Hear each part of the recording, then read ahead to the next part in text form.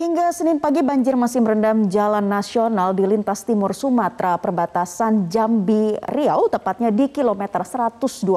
Sejumlah kendaraan terpaksa mengambil jalan alternatif untuk menghindari banjir.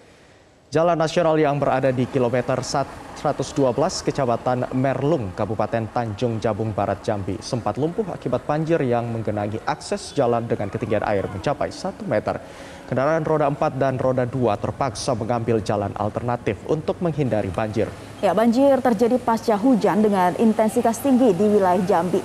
Tidak hanya merendam akses jalan, banjir juga merendam halaman kantor polsek dan asrama polisi. Lurah Merlung Joni Hermanto mengatakan ratusan rumah warga di 3 RT juga ikut terendam banjir.